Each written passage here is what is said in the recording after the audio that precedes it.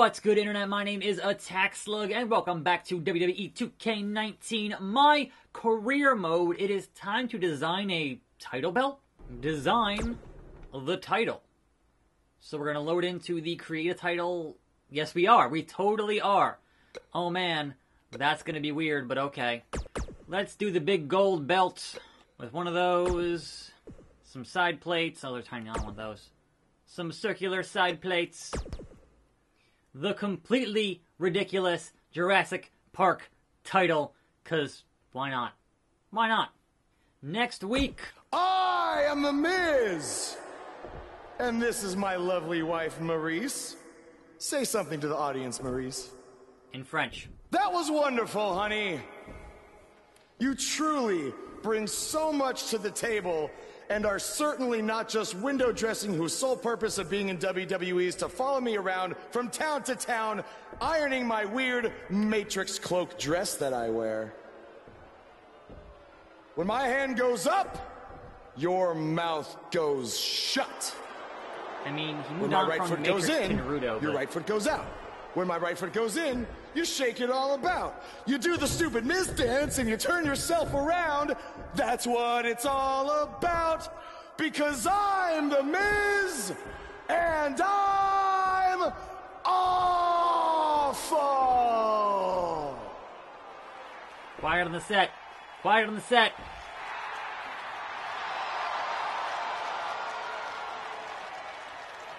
Since apparently our GM either thinks this is funny, which is impossible, or is just not paying attention to his own show, I am this close, this close to dialing 911 to report two counts of aggravated character assassination. Whoa, whoa, whoa, Miz. Sasha and I were just having a little bit of fun out here. No need to go overboard. I mean, besides, you didn't even let me get to the best part. Other than showing everybody how big of a goof you are. The whole point of tonight was to debut my new singles title. Dun, da, da, da. Jurassic Champion of the World! Of the Jurassic World. Hilarious. You see, since you refused to give me an Intercontinental title shot, and then Triple H backed your little scheme with loser Bo Dallas, I was forced to make a title of my own. You created your own title? Wow. What do you think this is? WWE 2K19? Fourth wall. This is broken. real life. It's not pretend time. You don't get to make up your titles. Zack Ryder. In fact, this is the most pathetic thing I've ever seen. And I've seen your matches on the indies. Hey now. You want to talk about pathetic? I think someone who refuses to defend their title, that's pathetic. Because even though this championship is brand new, it already holds more value than yours because I'm not going to hide behind it. I'm going to defend it against anyone at any time. In a no DQ match. All right, champ. I have someone you can defend your made-up title against. Someone who's still waiting for payback for a broken guitar. We just had a backstage brawl yesterday, Elias. Like I just said, anyone at any time. But you didn't give me a chance to explain that my title has some special conditions for how it must be defended. Condition. What do you mean? Like the matches can only be held in high school gyms? Or there can't be more than 200 people in attendance? Not exactly. My title will only be defended in no disqualification matches. The, the shocked heels. Good stuff. The champ is here. The wait is over. This one's for all the marbles, and it's coming up next. We have one of our breakout talents versus a formidable opponent. And so I welcome you to a auspicious Tuesday here on the show, wearing my Jurassic title, accompanied by Sasha Banks. And boy, oh boy, it is, this has been a crazy year in wrestling, and it only gets more insane Like, if you told me last year all the things that happened this year in wrestling, I would not have believed you.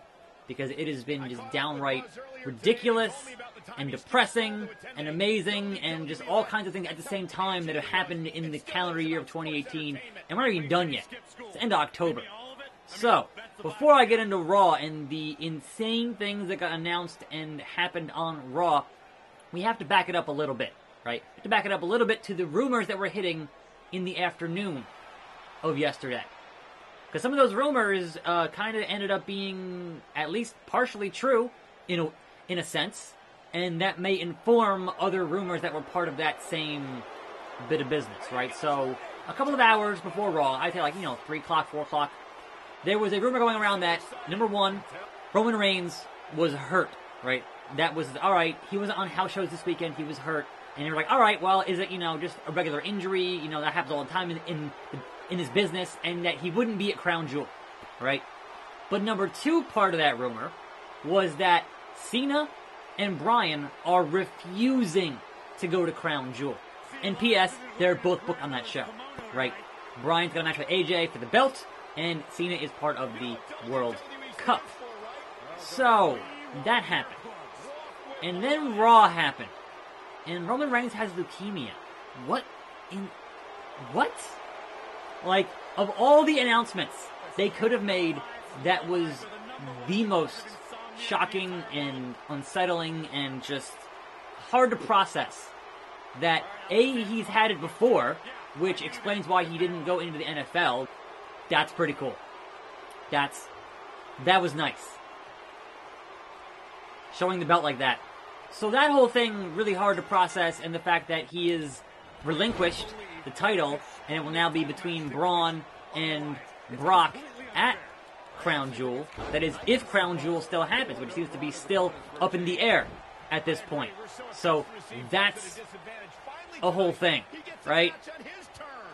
And like, there's just so many just points of contention here. Like now, it's like, all right, well then, what the hell is going to be in the main event for WrestleMania next year? Because there's no way with leukemia that Roman Reigns is back for Mania in a couple of months. That's a way more serious and potentially life-threatening thing than, uh, you know, a regular injury, like say to an Owens or a Zayn, right? This is a serious, serious. Like, I wouldn't see him back until at least 2020 at the earliest if the treatment goes well. Like, that's just. You can say what you want about how they've booked Roman Reigns, but you don't wish ill will on the performer. They don't control the booking, right? So, that's that. But that totally changes your whole main event scene. Because say what you want about the booking of Roman Reigns, he's a main event guy. And you don't have that many true blue main event guys who can carry main event matches. So that's real curious, right? And that being said, uh, how does that actually like? Do they get the belt to Braun and say, "All right, here's Braun," or does the belt go back to Brock? Because uh, please God, don't put the belt back on Brock. If anything, if you do anything right, don't put the belt back on your boy, Bork Laser, right? And also, this kind of uh, makes more sense of the fact that folks were saying, "Hey, for some reason this past weekend they've been having Braun work face on house shows." I'm like, that doesn't make any sense because Braun's a heel. He turned heel because of Roman. But if Roman's not going to be around, then you replace the top face of Roman with Braun. That makes all the sense, and then have McIntyre as his first contender once he wins the belt at Crown Jewel. If Crown Jewel even happens, which is still seems to be up in the air, despite what they've, been saying and booking. And if Cena's not there and Bryan's not there, how many other people don't want to be there? Like, so, so, so many questions. Miz, Miz, Miz, stop interfering in my match. Miz, I don't appreciate your business. Rope break in a rope break in a no DQ match because that makes sense. No DQs, but oh yeah, rope break. What? Since when? Okay, so that's the current uh, very uh, messed up situation that opened the show, right? Opened the show. And also, I will say, maybe now they will stop trying to have Shield reunions because, man, they seem to be pretty cursed every. This is the third time the third time. All right, the Shield, and then something happens. Not really consequential, but it seems like that the universe does not want this Shield reunion to ever happen because it's been sabotaged by forces out of their control multiple times. Also, Elias, let me hit my signature on Elias. Get that. Come on, give me that slug exploder. I know it's on hard now, but seriously, Elias. And also, when is Sasha going to interfere and argue for me like The Miz has been doing for Elias? I don't want to drift away, Elias. I don't want to drift away. No. Boom. Bionic. Elbow. Two. Yo. Skull. Pay window. Alright. Pick up Elias. And maybe hit that slug exploder. Nope. Third time. How do I win my match when I can't actually hit a finisher here? What a waste. So elsewhere on Raw, I, and that, that was the opening of the show, right? So obviously there are more things that happened on Raw, and good God, they happened. Uh, one, two, sure. No signature, no finisher, just a sledgehammer ends the match. That's fine. And still, and still, Action Champion. The Action Champion. Axe Slugger. So I totally didn't set the name of the belt. I hit finalized, so I but in the end, that we were set left with back the best something else. man I don't know anymore. I don't even know anymore in life. Uh, moments later, I, that's a new one. The Miz interferes in a cutscene and hits that skull. No. Where, where, where's the audio? Where's the? You showed up a few weeks ago on my show acting like you own the place. You insult me and my wife and then cut every corner possible by creating your own title. Not to mention forcing Elias to compete with a random stipulation he wasn't prepared for.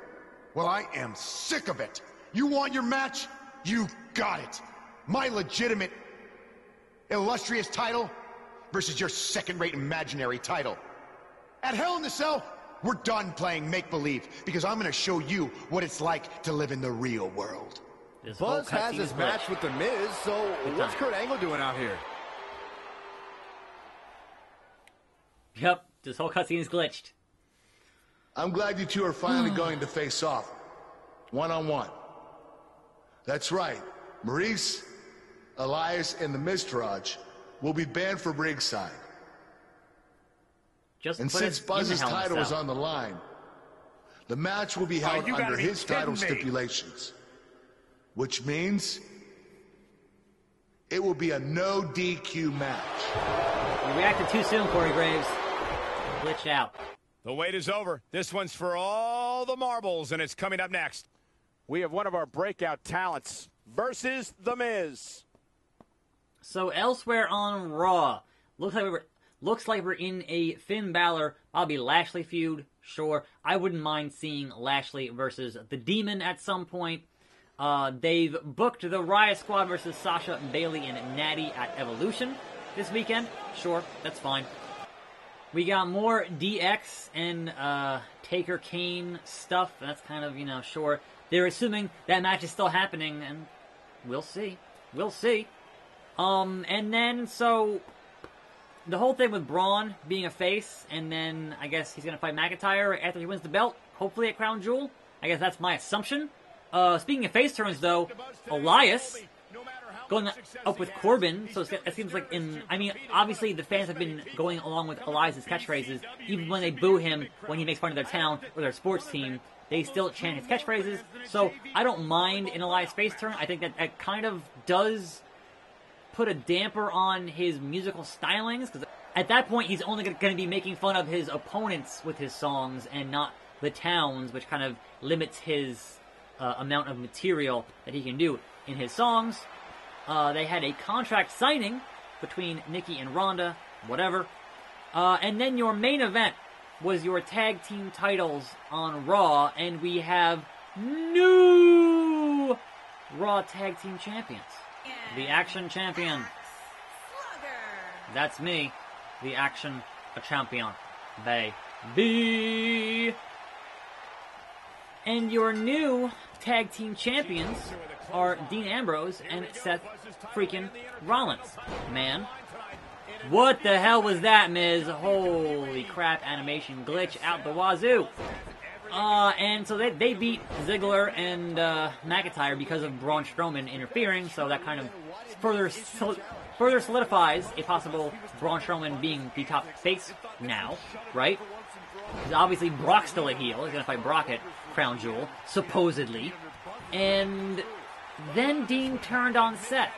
And I know they've been saying, oh, will Dean Ambrose turn on them for weeks? But usually, usually when you spend that much time teasing a turn, it's misdirection. You end up doing something else with somebody else to kind of misdirect them from what they think you're doing. But in, in, in this case, I feel like this booking was changed like on Monday. It's like, oh my god, if Roman's gone, we gotta make these changes now.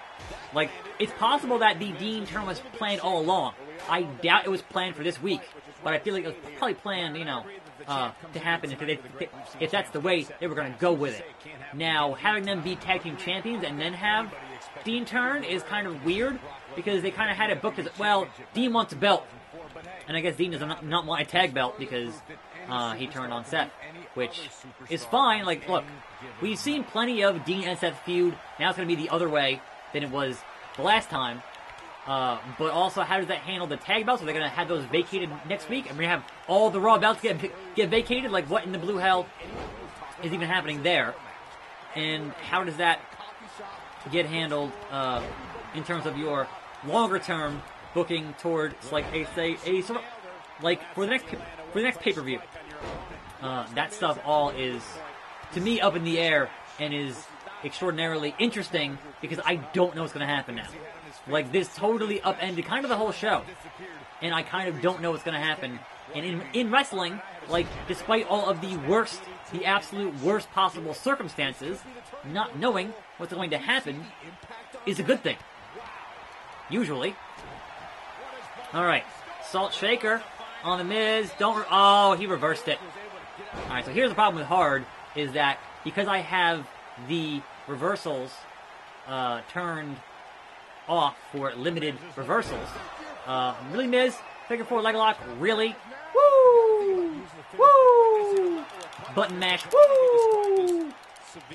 Get to the ropes, me. What the hell? It should be a rope break. Should easily be a rope break here, Miz. Why a figure four leg lock in a no DQ match? Turn it around on him. Reverse the pressure. Anyway. So, yeah, I don't know anymore. It's really interesting. Obviously, the circumstances involved are, you know, not good. But when Vince McMahon is kind of panic booking, you get some of the most interesting booking that he does. So, Miz with a dirty pin, I have resiliency. Screw you, Miz. Screw you, Miz. Resiliency. Now, also, I think this opens up another spot on the main event, considering that we don't know how long it's going to be until we get back Roman, right? So, A, how can you ever boo Roman again, right? But B, I think if you have a spot open up on the main event, you've got somebody who has been in main events before and who should have remained a main eventer and is not on the show currently. That's Bray Wyatt. This is the perfect chance to bring back Bray Wyatt and push him as a main event caliber talent. Like, if they don't do that, then what are they even doing? He's right there. Just do it. Seriously. Also, Miz here. Give me the fight for my life. Seriously. Miz as a world caliber, a world caliber, a world class, high caliber athlete.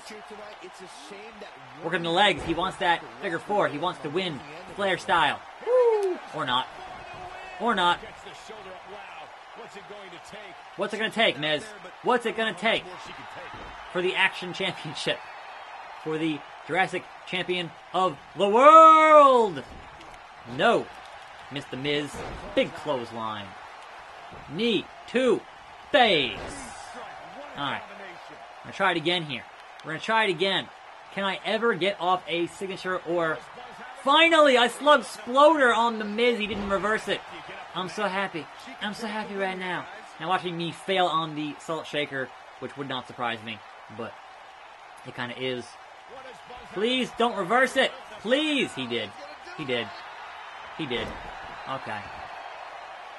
That's unfortunate, because now it's time for the skull crushing finale, and I can't reverse it, but he's not doing his wake up taunt. So, okay, if you want to keep here and not do your wake up taunt, Miz, that's fine. That's, um, now he did it. Now he did it. So, this is the problem. I might lose here. I might lose here. The Miz is looking at this. Skull crushing. That's a rope break, ref. That's a rope break. Ah, he figured it out. He figured it out. I don't have resiliency. I don't have it. Crap. He's got the shoulders Crap. Where's the. Oh, come on. That's so tiny. That's so tiny. Lame. Three count. And no! Dual champion. You're looking at the first ever superstar to simultaneously hold the Intercontinental title and, for lack of a better term, the Buzz title. Yeah, his carry-on bag just got a little bit heavier. Yeah, if I were the Miz, I, this match would be under protest. It should have never taken place under these rules. Well, it did, and now we have a new champion. You can protest all you want, but it's not going to change what happened. Yep. That's me. You did it! You finally shut up the Miz. I don't know about that, but I did beat him and take his Intercontinental title. That's good enough. Thanks for helping me along the way. We make a pretty good team out there. We did. If you ever need someone to dress up in a ridiculous costume to send a message to one of your opponents, I'm your guy. I'll remember that. Hey, Sasha, you mind if I have a moment to talk business with the champ? Beardness. Yeah, no problem. We gonna talk beardness. I was thinking about calling myself Champ Squared, actually. You know. Yeah, about that. Not to put a damper on your big victory, but according to WWE regulations, you're only allowed to hold one singles title at a time. That's not real. I could try to circumvent the rules and let you hold both, but Triple H would just force you to vacate one anyway. You really know how to ruin a party. I'm sorry. So which title would you like to keep? Uh, the real one? You're gonna give me a choice? Uh, the IC title. Come on now. The real one. That had to be a tough decision. If it's any consolation, I'll give you the rest of the night to celebrate with both championships. Thanks. One of them has a lineage, one of them I just made up. Like, come on. Okay, we completed a chapter 9, baby. And then it rolls on. I'm Attack Slug. I thank you for watching. There are more videos every single day. Uh oh, Matt Hardy coming up tomorrow, looks like. And I'll see you next time, right here on this channel. And I'm out.